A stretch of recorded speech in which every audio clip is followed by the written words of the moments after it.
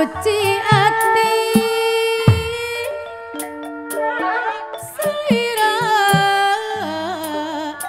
Lampu yang